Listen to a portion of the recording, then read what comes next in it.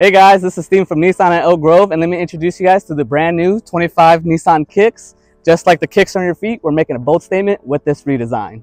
All right guys, if you look here, we're gonna have LEDs lights all the way through. Your DRLs are also integrated with LEDs. If you look at the bottom here, we have texture throughout the whole bumper and the vehicle. Follow me over here, we're gonna have a 19 inch alloy wheel with an 8.4 clearance level. Little Easter egg here, Nissan Kicks and you can follow it through a little bit more, we also have the kicks engraved here. Now this kicks is actually gonna be the same color as your vehicle. So if you had yellow, it'd be yellow. If it was blue, it would also be blue. And to introduce you guys to the chairs here, it's a zero gravity seat to help with the fatigue on the long drives. If you look at this texture here, we got a carbon fiber, but it's cushiony. For your two screens, we have a 12.3 inch. Your Apple CarPlay Android Auto is wireless. We have two USB-Cs plugs and your drive mode here. You have your electronic handbrake and your smart hold. Now you can go to the screen here and we're gonna have a digital all the way through. You have your apps. We'll take a look at the screen over here. If you want a simpler view, you can change that with a couple little clicks. Let's click that. It's gonna go into more of a digital screen. We're gonna take a look at the steering wheel here.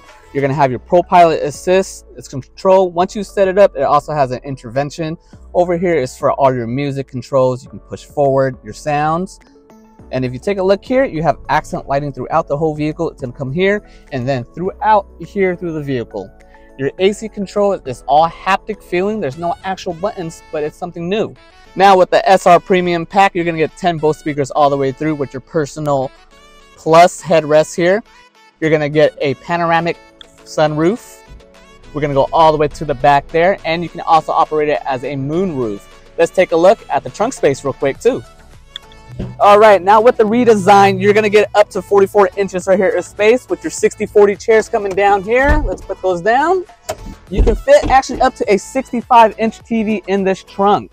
All right, now that we looked at the trunk already, let's take a look at the back seat. Let's come right in here. Your passengers are actually gonna have a little bit more space because your chairs are actually pushed forward a little bit here.